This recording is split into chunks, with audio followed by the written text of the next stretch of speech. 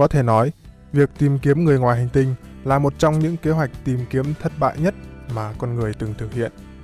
Từ những thế kỷ trước cho tới ngày nay, đã có biết bao nhiêu chất xám và tiền bạc đã được chúng ta chi trả cho công cuộc tìm kiếm vô nghĩa này. Nhưng có một điều lạ là chúng ta không hề có ý định dừng lại, thậm chí chúng ta còn tiếp tục đẩy mạnh công cuộc tìm kiếm và đầu tư nhiều hơn nữa. Đã bao giờ các bạn tự hỏi tại sao chúng ta làm như vậy chưa? Các bạn hãy tự trả lời câu hỏi này bằng chính tư cách cá nhân của mình. Chắc chắn tất cả các câu trả lời của các bạn đều là những câu trả lời chính xác. Bởi lẽ nó sẽ thể hiện một cách chân thực và sâu sắc nhất về ham muốn của loài người chúng ta.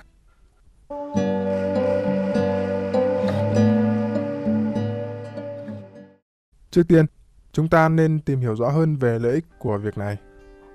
Đầu tiên là có một sự thật mà chúng ta phải chấp nhận. Đó là việc tìm kiếm này có thể chẳng mang lại lợi lộc gì cho chúng ta. Thậm chí là chỉ thiệt hại thêm về kinh tế mà thôi.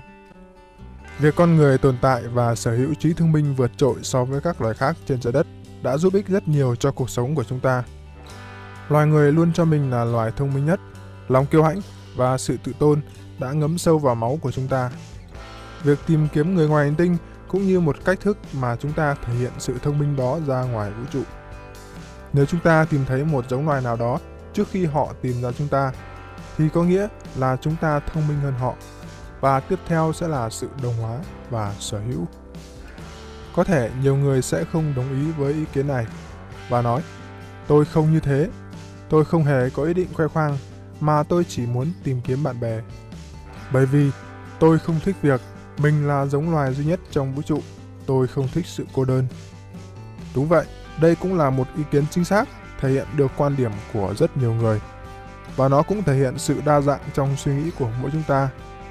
Tuy ý kiến của chúng ta là không đồng nhất, nhưng cũng không sao, vì đơn giản, chúng ta khác nhau mà.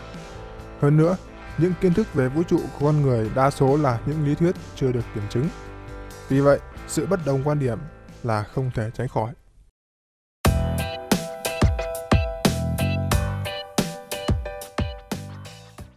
Thuật ngữ người ngoài hành tinh là một thuật ngữ khá chung chung và nó đa phần thiên về sự tưởng tượng và phim ảnh.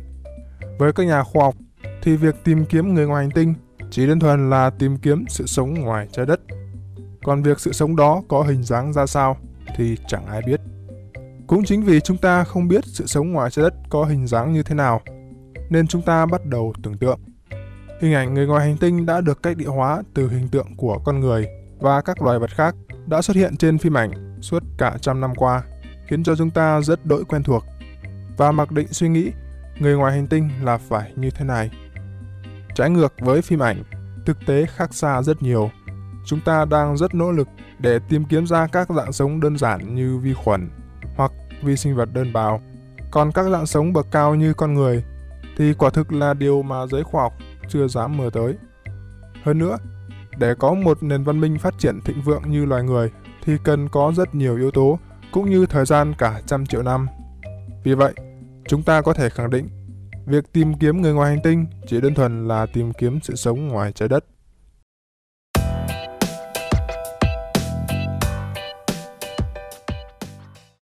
Để xác định được một hành tinh quay quanh một ngôi sao bất kỳ là cực kỳ khó.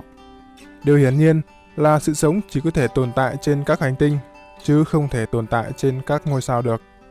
Để có thể phát hiện ra một ngôi sao cách xa chúng ta cả ngàn năm ánh sáng đã là rất khó khăn và sẽ khó khăn hơn rất nhiều nếu muốn tìm ra các hành tinh quay quanh ngôi sao đó. Để phục vụ cho quá trình này thì chúng ta phải liên tục đổi mới công nghệ.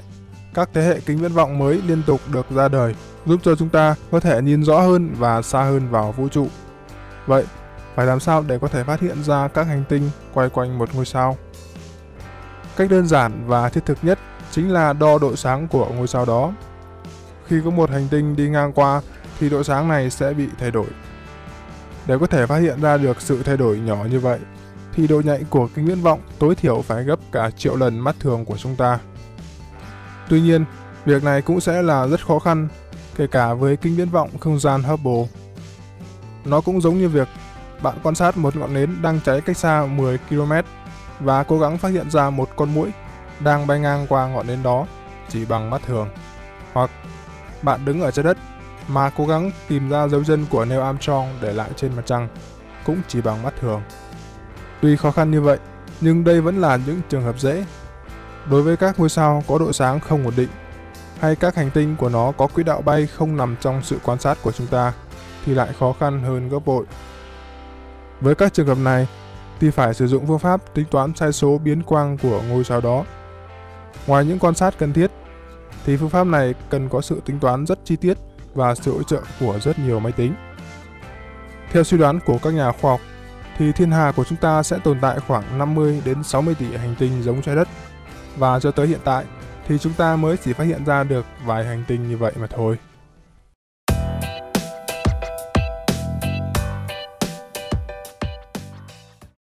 Nói về sự rộng lớn của vũ trụ thì trong các video trước mình cũng đã nói qua.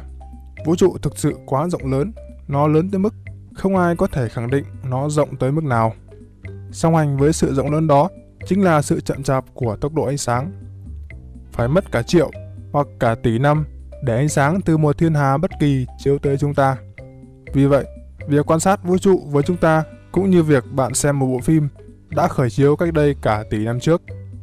Với một vùng không gian rộng vô tận như vậy, thì việc tìm kiếm sự sống ngoài trái đất cũng chẳng khác nào việc bạn cố gắng phát hiện ra một con vi khuẩn đang lơ lửng trong không khí chỉ bằng mắt thường.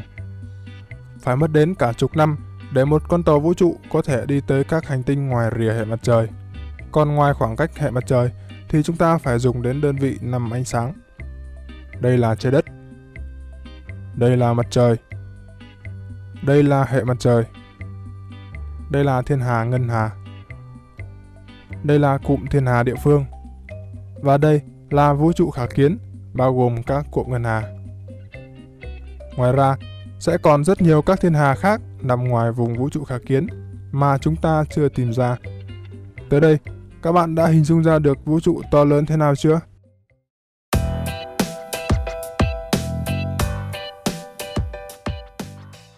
Điều này là một thực tế không thể phủ nhận.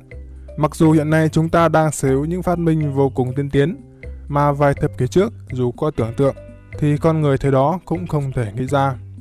Thế nhưng xét về tổng thể thì nền khoa học của chúng ta vẫn còn rất nhiều hạn chế, nếu không muốn nói là lạc hậu.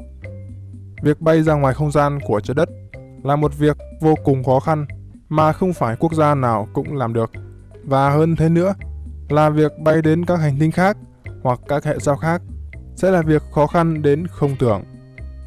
Tính cho đến thời điểm hiện tại, tàu vũ trụ bay xa nhất mà chúng ta phóng đi cũng chưa ra khỏi ranh giới của hệ mặt trời, chứ đừng nói là bay tới các hệ sao khác. Một sự thật đau lòng khác là khoa học hiện tại vẫn chưa xác định được thiên hà của chúng ta có bao nhiêu ngôi sao đang tồn tại. Các tài liệu mới nhất và đáng tin cậy nhất đưa ra con số tham khảo là từ 200 tỷ tới 400 tỷ ngôi sao. Nói thật, đây là một con số vô nghĩa, vì chẳng có ai ước lượng cái gì mà lại chênh lệch như vậy. Ví dụ, chúng ta nhìn vào một người nào đó và đoán người này nặng khoảng 50 đến 55 kg. Con số ước chừng chênh lệch 5 đơn vị coi như tạm chấp nhận được. Đương nhiên là chúng ta không thể đoán người này nặng từ 50 đến 100 kg được. Vì điều này thể hiện chúng ta chẳng biết gì cả.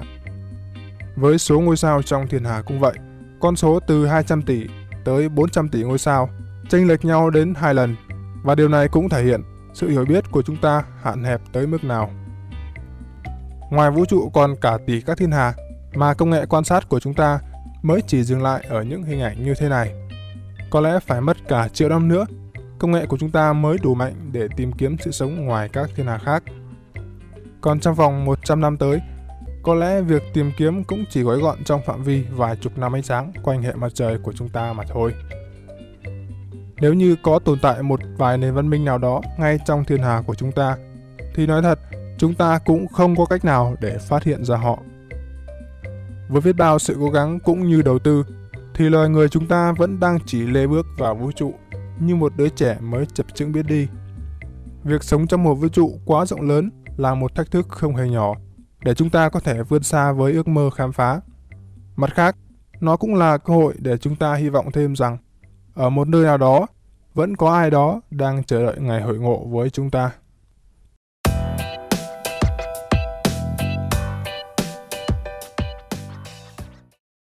Lý do cuối cùng cho sự tìm kiếm mãi mà không thấy sự sống ngoài trái đất chính là chẳng có sự sống nào để cho chúng ta tìm kiếm.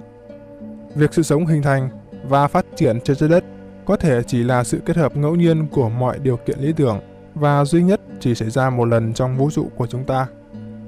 Hoặc thực sự là có cái gì đó đã cố tình sắp đặt ra chúng ta, bắt giữ chúng ta phải cô đơn một mình trong vũ trụ bao la này. Đây là một suy nghĩ phi khoa học, nhưng phải khẳng định rằng có rất nhiều người đang tin như vậy. Để có thể giải đáp một câu hỏi quá khó khăn, thì việc đưa ra giả thuyết là rất cần thiết. Và khi chúng ta chưa có câu trả lời chính xác, thì mọi giả thuyết đều xứng đáng được tôn trọng. Và hơn hết, thì loài người chúng ta lúc nào cũng chuẩn bị sẵn sàng tinh thần cho việc này. Trong cả ngàn năm qua, chúng ta đã quen thuộc với sự cô đơn. Nếu trong tương lai, chúng ta không thể tìm thấy sự sống ngoài trái đất, thì việc đó cũng không quá bất ngờ.